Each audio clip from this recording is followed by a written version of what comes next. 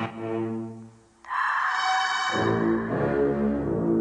just want you to know that throughout it all, it's only you that stuck by me. And for that, I thank you. I love you. Ashanti.